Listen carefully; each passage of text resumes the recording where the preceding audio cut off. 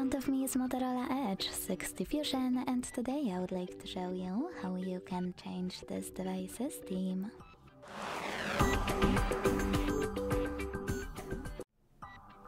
Begin by holding your device's display. Now click on Personalize over here and tap on Themes section to apply a perfect one for you. Just click on it and go back. As you can see after a couple of seconds, theme of my device has changed. If you want to, you can also go back to the same settings. And this time though, after selecting themes, click at the top right corner on this plus. Then adjust your theme however you want to. Pick a wallpaper. I will go with maybe this one. Change font style.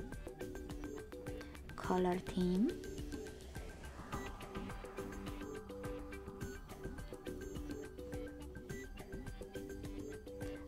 And icon shape.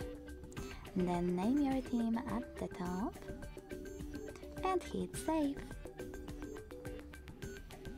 To apply it, click on it.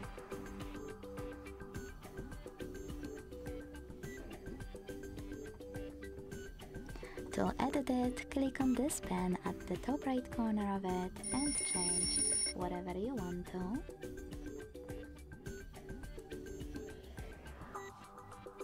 To delete it, use bin icon also at the top right corner and hit delete. And to go back to your default theme, hit the first one at the top. Thanks so much for watching. If you enjoyed this video, leave a like, comment and subscribe. Bye.